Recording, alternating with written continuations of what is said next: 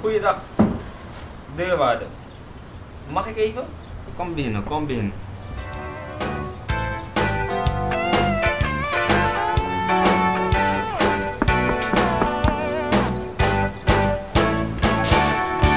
Nou, ik schat de waarde op zo'n 25 euro.